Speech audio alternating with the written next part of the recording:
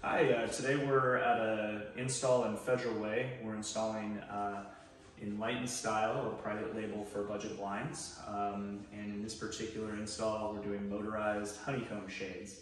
Um, the cool thing about this particular vendor is that they will do their motorization top down, bottom up. So what I mean by that is you actually have the ability to expose the top half of the window and you can also roll the bottom rail as well. Very unique feature, very few vendors do it. Uh, this is something that could uh, work well in your home, give us a call.